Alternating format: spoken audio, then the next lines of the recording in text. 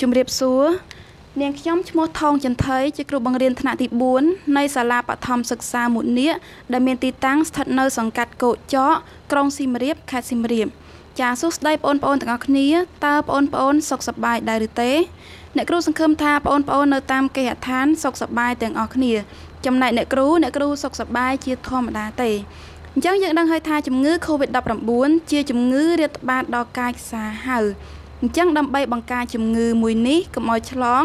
ប្អូនត្រូវតែលាងដៃជាប្រចាំជាមួយសាប៊ូឬជែលឲ្យបានត្រឹមត្រឹមត្រូវចាថ្ងៃនេះជួបជាមួយអ្នកគ្រូមុខវិជ្ជាវិទ្យាសាស្ត្រមុននឹងចាប់ផ្ដើមរៀនជាមួយអ្នកគ្រូបងប្អូនត្រូវត្រៀមសម្ភារៈមួយចំនួនដូចជាសិភៅសរសេរដៃវិទ្យាសាស្ត្រ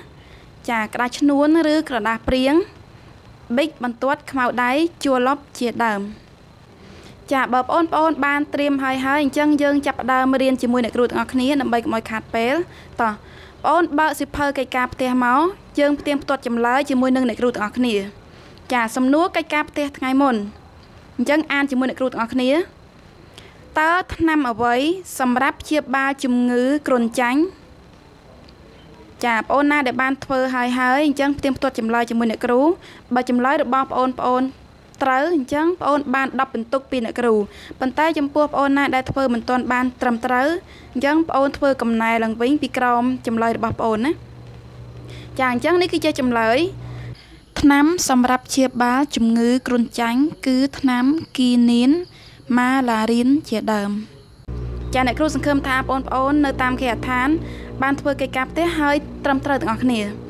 ចាមេរៀនវិទ្យាសាស្ត្រថ្ងៃមុនយើងរៀនដល់ចម្ពោះទី2ហើយចម្ពោះទី2មេរៀនយើងត្រូវបានបញ្ចប់ហើយអញ្ចឹងថ្ងៃនេះយើងចូលដល់ចម្ពោះថ្មី គឺចម្ពោះទី3ចំណងជើងរូបធាតុនិងធម្មពលចាអញ្ចឹងអ្វីទៅគឺជារូបធាតុចាបងអូនក៏លេខមើលរូបភាពដែលគ្រូបង្ហាញនេះតើបងអូនឃើញរូបភាពអ្វីខ្លះចាបងអូនឃើញរូបភាពដូចជានំប៉័ងផ្លែឈើកុមារាកុមារីកង្ហា ចាផ្ទះទូរទស្សន៍ចាទឹកដោះគោជាដើមអញ្ចឹងទាំងអស់នេះគេហៅថារូបរូបធាតុអញ្ចឹងបងអូនអត់និយមន័យមកដូចម្ដេចហៅថារូបធាតុចារូបធាតុគឺជាវត្ថុទាំងឡាយណា ដែលនៅជុំវិញខ្លួនយើង ចាតើអត់រូបធាតុគឺជាវត្ថុទាំងឡាយដែលនៅជុំវិញខ្លួនយើងអញ្ចឹងបងអូនកលេចមើលជុំវិញខ្លួនរបស់បងអូនតើបងអូនឃើញវត្ថុអ្វីខ្លះ ចាចំណែកឯនៅជំនាញខ្លួនអ្នកគ្រូរូបធាតុមានដូចជា ចាកុំព្យូទ័រទូរស័ព្ទដៃតុកៅអីជា ជាដើមអញ្ចឹងតែនេះគឺជារូបរូបធាតុចាធម្មពលអញ្ចឹងដូចម្ដេចហៅថាធម្មពល ចាធម្មពលសំដៅទៅលើកម្លាំងចាឧទាហរណ៍ធម្មពលខ្យល់ធម្មពលម៉ូតូធម្មពលម៉ាស៊ីនចាអញ្ចឹងធម្មពលសំដៅទៅលើកម្លាំង ចាមេរៀនទី1របស់យើង ចំណងជើង លក្ខណៈនៃរូបធាតុតើឥឡូវបងអូនអានជាមួយអ្នកគ្រូទាំងអស់គ្នាជំពូកទី3រូបធាតុនិងធម្មពលមេរៀនទី1លក្ខណៈនៃរូបធាតុរូបធាតុគឺវត្ថុទាំងអស់ដែលមាននៅជុំវិញយើងឧទាហរណ៍តុទូផ្កាកែវទឹកម្ហូបអាហារខ្យល់ផ្ទះ ជាដើមអញ្ចឹងចុចចុចនឹងមានន័យថាមានច្រើនទៀតដែលយើងរាប់សឹងតែមិនអស់ចាអញ្ចឹងតើបងអូនដឹងទេថាតើរូបធាតុអ្វីដែលសំខាន់សម្រាប់ជីវិតរស់នៅរបស់យើង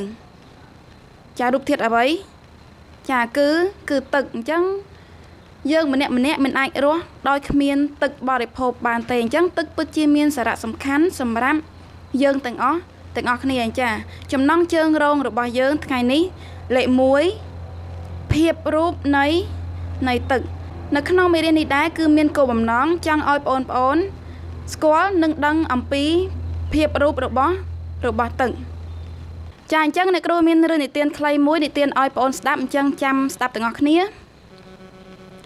ថ្ងៃមួយម្ដាយបានបង្គាប់ឲ្យភិរមដាំបាយមុនពេលដាំបាយភិរមបានចាក់ទឹកមួយកែវដាក់ក្នុងទូទឹកកក ហើយទៅដាំបាយពេលបាយពុះភិរមបើកគម្របបាយហើយឃើញចំហាយទឹករសាត់ចេញពីបាយបន្ទាប់ពីបរិភោគបាយរួចភិរមដើរទៅយកទឹកមួយកែវពីក្នុងទូទឹកកកដែលភិរមបានដាក់ភិរមបានឃើញទឹកក្នុងកែវនោះ ទៅជារឹងក៏ដូចជាកែវអញ្ចឹងពេលនោះភិរមកើតមានចម្ងល់ថាតើទឹក មានភាពរូបប៉ុន្មានយ៉ាងអ្វីខ្លះយ៉ាងអញ្ចឹងនេះគឺជាសំណួរដែលភិរមឆ្ងល់អញ្ចឹងអ្នកគ្រូគឺថាប្រហែលជាបងប្អូនឆ្ងល់ដូចភិរមអញ្ចឹងថាតើទឹកមានភាពរូបប៉ុន្មានយ៉ាងអ្វីខ្លះភាពរូបនេះសំដៅទៅលើរូបរាងឬក៏សភាពរបស់ទឹកចាអញ្ចឹងសំណួរកន្លឹះរបស់អ្នកគ្រូមាន3អញ្ចឹងអានជាមួយអ្នកគ្រូទាំងអស់គ្នា1តើទឹកជាអង្គធាតុរាវដែលមានប៉ុន្មានប្រភេទអ្វីខ្លះ 2តើទឹកមានភាពរូបប៉ុន្មានយ៉ាងអ្វីខ្លះសំណួរទី2នេះគឺជាសំណួរដែលភិរមឆ្ងល់ចា3តើទឹកមានរូបរាងច្បាស់លាស់ឬឬទេចាអញ្ចឹងពេលនេះបងអូនយកក្តារឈ្នួនឬក៏យកក្តារព្រៀងមកគិតចម្លើយប៉ាន់ស្មានឲ្យអ្នកគ្រូអ្នកគ្រូនឹងទុកពេលឲ្យបងអូនចំនួន1នាទីកន្លះដើម្បីឆ្លើយចម្លើយប៉ាន់ស្មាន ចូលក្តារឈ្នួនក៏បាន ចូលក្រដាសព្រៀងក៏បាន ចាអញ្ចឹងអ្នកគ្រូទុកពេលឲ្យ1នាទីកន្លះ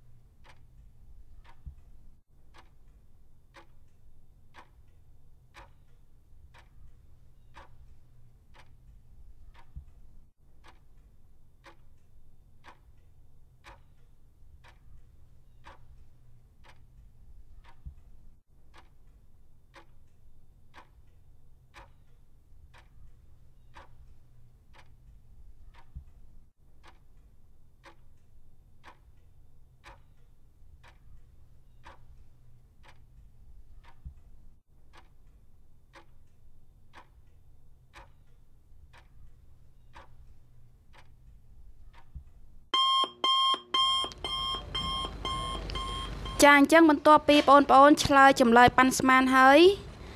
បងអូនទុកចម្លើយប៉ាន់ស្មានរបស់បងអូនមក like សិនអញ្ចឹងអ្នកគ្រូមានរូបភាពឲ្យបងប្អូនសង្កេតអញ្ចឹងបងអូនចាំសង្កេតទាំងអស់គ្នាចាអញ្ចឹងនេះគឺជារូបភាពឆ្នេរសមុទ្រចាយើងឃើញមាន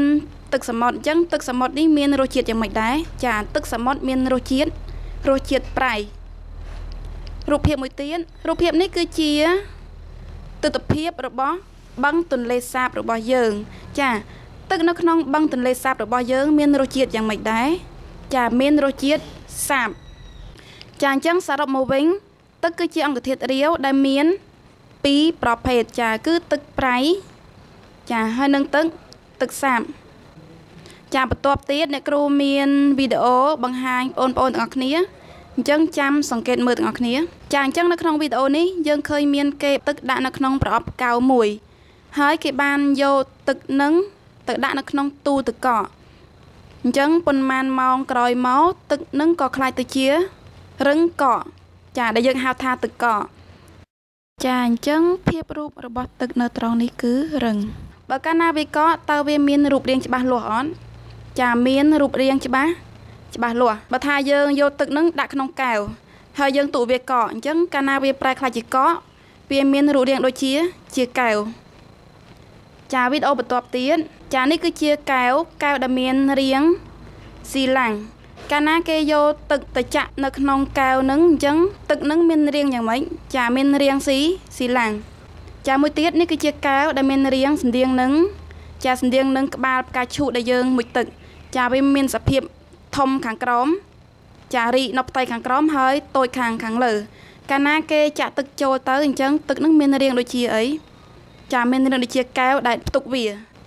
ចាបន្ទាប់ទៀតនេះគឺជាកែវដែលមានរាងអត់ច្បាស់លាស់ទេចាវាមានរាងមូលខាងក្រោមហើយតូចខាងលើ ចាអញ្ចឹងកាលណាបើគេចាក់ទឹកចូលទៅក្នុងកែវនេះគឺទឹកនឹងមានរាងដូចជា ចាដូចជាកែវនឹងអញ្ចឹងចាសរុបមកវិញភាពរូបរបស់ទឹកត្រង់នេះគឺគឺរាវវាមានរូបរាងមិនច្បាស់លាស់ទេ គឺអាស្រ័យទៅតាមវត្ថុដែលផ្ទុកដែលផ្ទុកវាឧទាហរណ៍ថាយើងចាក់ទឹកចូលទៅក្នុងដបអញ្ចឹងទឹកនឹងមានរូបរាងដូចជាដប បើយើងចាក់ទឹកចូលទៅក្នុងធុងអញ្ចឹងទឹកនឹងមានរូបរាងដូចជាដូចជាធុងចាកាលណាវារាវគឺគ្មានរូបរាងច្បាស់លាស់ទេវីដេអូបន្ទាប់ទៀតចាគេយកទឹកទៅដាំឲ្យពុះកាលណាវាពុះហើយគេបើកគម្របគេនឹងឃើញមាន ចំហាយទឹកឡើងលើ ចំហាយទឹកនេះគេហៅថាអូឧស្ម័នអញ្ចឹងភាពរូបរបស់ទឹកត្រង់នេះគឺអូ ឧស្ម័នកាលណាដំណក់ទឹកនេះធំធំអញ្ចឹងឧស្ម័ននឹងយើងអាចមើលឃើញប៉ុន្តែបើកាលណាដំណក់ទឹកនឹងវាតូចតូចមែនទែនតូចតូចអញ្ចឹងឧស្ម័នត្រង់នេះគឺយើងមិនអាចមើលឃើញទេចាដូចនៅក្នុងវីដេអូនេះអញ្ចឹងតើឧស្ម័ននេះយើងអាចមើលឃើញអត់ចាមើលឃើញទាំងអស់គ្នាចាដោយសារតែដំណក់ទឹកតូចតូចដែលវារសាត់ឡើងលើហ្នឹងវាវាធំធំអញ្ចឹងយើងមើលឃើញបើកាលណាប្អូនយកខោអាវសើម ទៅហាលថ្ងៃអញ្ចឹងប៉ុន្មានម៉ោងក្រោយមកខោអាវហ្នឹងទៅជាស្ងួតអញ្ចឹងសួរថាតើទឹកដែលនៅជាប់នឹងខោអាវហ្នឹងទៅណាចាទឹកដែលនៅជាប់នឹងកៅអៅកាលណាវាត្រូវកម្ដៅថ្ងៃវាប្រែក្លាយទៅជាអ៊ុអ៊ុស្មានហើយអ៊ុស្មានមួយនេះយើងមិនអាចមើលឃើញទេដោយសារវាមានទំហំតូចតូចខ្លាំងអញ្ចឹងយើងមិនអាចមើលឃើញទេចាអញ្ចឹងបន្ទាប់ពីសង្កេតមើលរូបភាពហើយនិងវីដេអូរបស់អ្នកគ្រូហើយអញ្ចឹងយើងសន្និដ្ឋានទាំងអស់គ្នាហើយបងអូនយកចម្លើយប៉ាន់ស្មានរបស់បងអូនមកប្រៀបធៀបជាមួយនឹងអ្នកគ្រូ ចានេះគឺជាសំណួររបស់យើងសំណួរទី1សួរថាតើទឹកជាអង្គធាតុរាវដែលមានប៉ុន្មានប្រភេទអ្វីខ្លះចាអញ្ចឹងតាមរយៈដំណើរការសង្កេតអំបញ្ញមិញទឹកគឺជាអង្គធាតុរាវដែលមាន2ប្រភេទចាគឺទឹកប្រៃនិងទឹកសាបចាពីតើទឹកមានភាពរូបប៉ុន្មានយ៉ាងអ្វីខ្លះចាមិញយើងសង្កេតហើយហើយនៅក្នុងវីដេអូរបស់យើងអញ្ចឹង ទឹកមានភាពរូប3យ៉ាង ចាមានរឹងចារឹងនៅពេលដែលវាកករាវហើយនឹងអុអ៊ុស្មានចាអ៊ុស្មាននៅពេលដែលវាខ្លាយទៅជាចំហាយអញ្ចឹងកាលណាវាខ្លាយជាចំហាយរស័ព្ទឡើងលើគេហៅថាអ៊ុស្មានចា3តើទឹកមានរូបរាងច្បាស់លាស់ឬទេ ចាតើទឹកមានរូបរាងច្បាស់លាស់ឬទេអញ្ចឹងបើកាលណាភាពរូបរបស់ទឹកនឹង រាវនិងឧស្ម័នវាគ្មានរូបរាងច្បាស់លាស់ទេប៉ុន្តែបើភាពរូបរបស់ទឹកនឹងរឹងវិញកាលណាវារឹងទៅជាកកគឺវាមានរូបរាងច្បាស់លាស់ចាអញ្ចឹងតើចម្លើយប៉ាន់ស្មានរបស់ប្អូនហើយនឹងចម្លើយរបស់អ្នកគ្រូមិនដែរត្រឹមត្រូវអត់ចាអញ្ចឹងសេចក្តីសន្និដ្ឋាននេះគឺជាមេរៀនសង្ខេបរបស់យើងតើលើប្អូនអានជាមួយនឹងអ្នកគ្រូទាំងអស់គ្នាជំពូកទី3រូបធាតុនិងធម្មពលមេរៀនទី1 លក្ខណៈនៃរូបធាតុ1ភាពរូបនៃទឹក ចាសន្និដ្ឋាន ទឹកជាអង្គធាតុរាវដែលមាន2ប្រភេទទឹកសាប ដែលមាននៅក្នុងបឹងទន្លេ ចាទឹកប្រៃសមុទ្រទឹកមានភាពរូប3យ៉ាងរឹងរាវនិងឧស្ម័នទឹករាវនិងឧស្ម័នគ្មានរូបរាងច្បាស់លាស់ទេ ប៉ុន្តែចំពោះទឹករឹងឬក៏ទឹកកកអាចមានលក្ខណៈច្បាស់ច្បាស់លាស់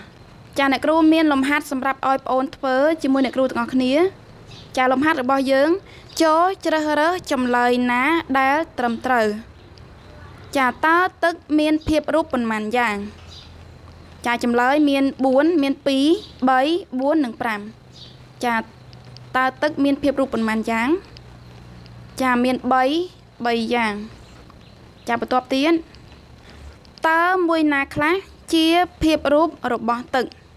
ចាតើមួយណាខ្លះគឺជាភាពរូបរបស់ទឹក ចារាវឧស្ម័នរលាយនិងរឹងចាយើងដឹងថាភាពរូបរបស់ទឹកមាន3អញ្ចឹងមួយណាខ្លះក្នុងចំណោម4នឹងចាអញ្ចឹងមានដូចជារាវឧស្ម័ននិងនិងរឹង